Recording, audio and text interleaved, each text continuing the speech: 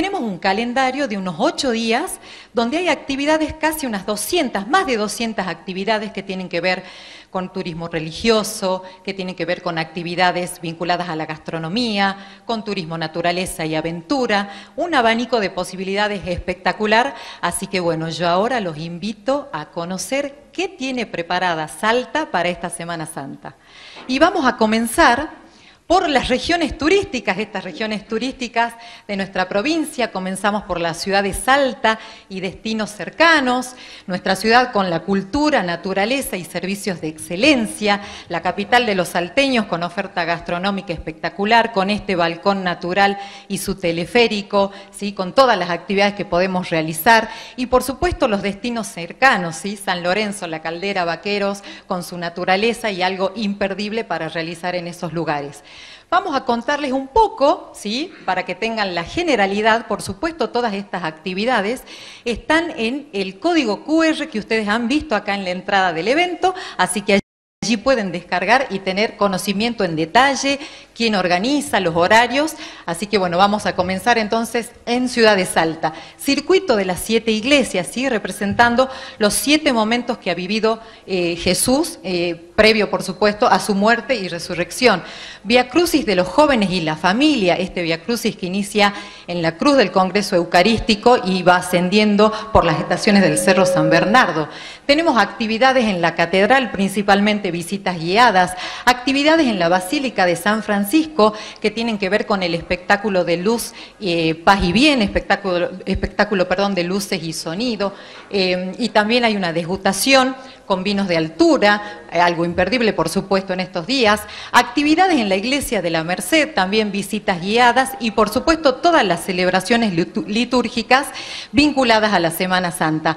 Algo que está organizando también la pastoral es el circuito histórico y religioso de la ciudad de Salta, con el recorrido de las iglesias más destacadas por su valor histórico y patrimonial, por supuesto.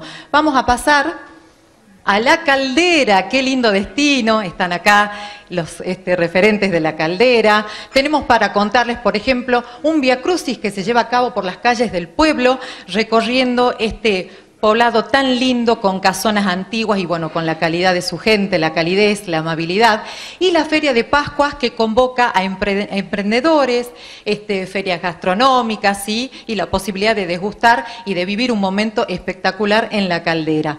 San Lorenzo, la Feria Pascual y Gaucha en el pueblo de Atocha.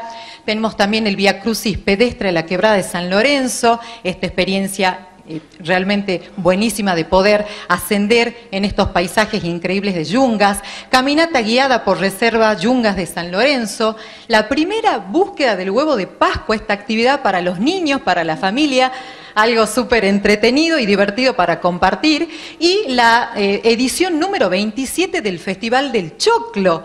Acá Anita Cornejo me mira.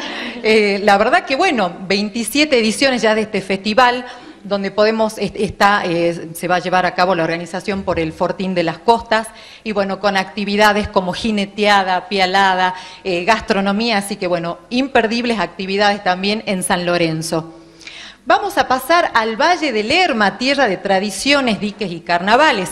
Saliendo 20 minutos de la capital salteña, nos adentramos en esta región turística donde tenemos pueblos con identidad, pueblos con tradición, una gastronomía representada principalmente por tamales, por empanadas, y donde hay posibilidad de realizar agroturismo y todas eh, experiencias vinculadas a la actividad del campo y de estancias para todas las edades.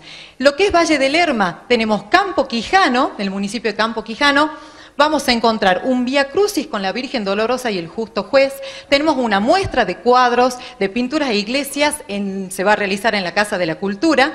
La Feria de Campo Quijano, imperdible realmente, con todos los emprendedores. Gastronomía también en la silleta podrán encontrar estas actividades.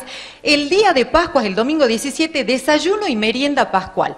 Quienes estén en Quijano van a poder encontrar huevos de Pascua rellenos con helado artesanal. Así que los esperamos para que puedan compartir.